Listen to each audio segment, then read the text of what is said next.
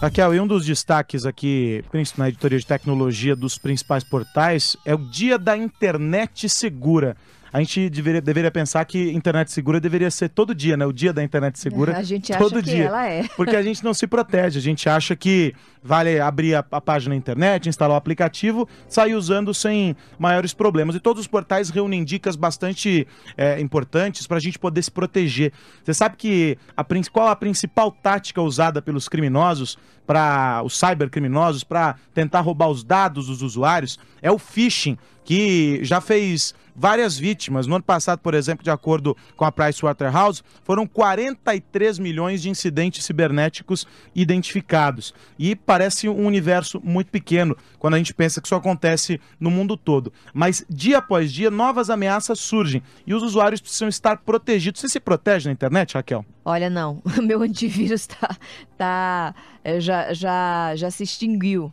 Então, tá vendo? Você tá desprotegido, você tá desatualizado. É, o Joseval, o Joseval falou outro casa, dia não. do e-mail dele, que ele se cadastrou no e-mail, que agora ele está conectado. Já- você já sabe, sabe qual é a é principal hashtag. dica para proteger a senha do teu e-mail, Joseval? Não, sei não. É você manter uma senha com vários é, caracteres, principal, pelo menos oito, e ela tem que envolver números, letras e símbolos quando o sistema permitir, porque fica mais difícil dela ser rastreada. E o mais importante, viu, Raquel, você que tem várias redes sociais, a senha do Instagram, do Facebook, do teu e-mail, ela não pode ser igual, elas não podem ser iguais. Tem que ter, você tem que ter senhas diferentes para cada uma das suas redes. Obrigada pelas dicas.